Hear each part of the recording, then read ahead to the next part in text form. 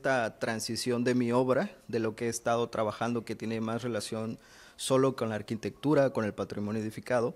Ahorita ya es como un tema más amplio de estos elementos, o, bueno, más bien escenas que forman parte de mi época.